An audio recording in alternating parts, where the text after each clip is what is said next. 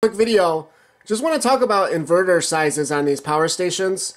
Um, because you know you can basically get these inverters in, in almost any size and um, but there are some some kind of like things you want to consider right so you know with AC appliances typically what you see is that a lot of um, a lot of appliances that that draw like a high amount of power it's usually like around a thousand watts or higher right and then um, and then there's kind of not a lot of um, appliances that use like around five six hundred watts. I mean, I mean unless you have one that you know you know uses something like that specifically, um, but but generally there's like there's a gap, you know, and then um, you'll actually find that uh, a lot of other uh, AC appliances that aren't high power are actually like below 300 watts, and, and in many cases below 200 watts.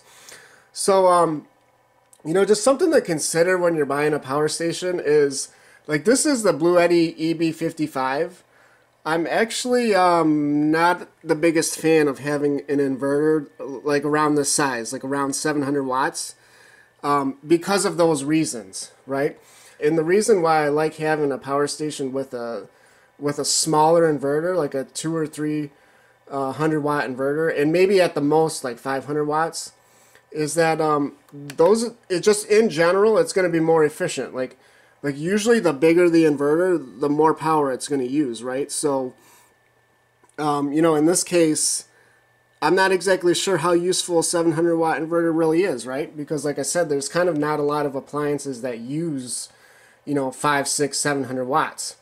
So um, if you're going to be running like a TV or some, you know, a small load, this inverter is still like too big for that, right? You're just going to be wasting power because this 700 watt inverter is just going to use more power than like a 300 watt inverter, right?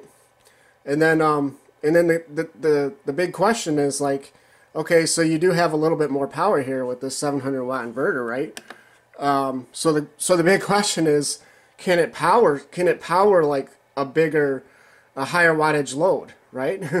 because then it's like you know it would be kind of nice if it could do that then right and that's why i always say like you know basically get like a thousand watt inverter at least an a thousand watt inverter and one power station and then get another power station that has just like a two or three hundred watt inverter um, for smaller loads because that small inver- inverter is just going to run small loads a lot more efficiently because these AC inverters they they use power like the inverter itself uses power right? And, and generally the bigger it is the more power it's going to use right? So um yeah I just want let's just do a quick test on this because I just want to see. This thing usually runs this is like a 800 watt hot plate and um, it usually runs somewhere around there. And um, so yeah let's just see because um, these hot plates are really nice to have for emergency situations because you know you can still cook right? Right? You can still cook like a like a normal meal with one of these, you know, um, and you don't got to worry about the the stove, right? So, um, and these things are like super cheap. They're they're small.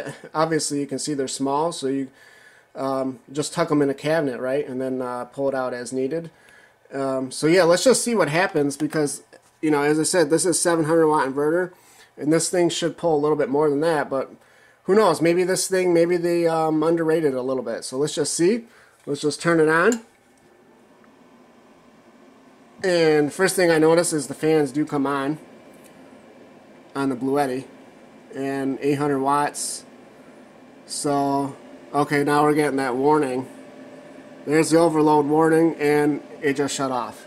So that is, um, that's what I expected to see and so that that again it's like it's kind of like I'm not exactly sure how useful this inverter is right? Because um, you're you're probably just going to be running small loads off of this inverter and then you'd be better off just getting a unit with a smaller inverter because it's going to be more efficient to run those off a smaller inverter. So so yeah just um, just something to consider just a tip.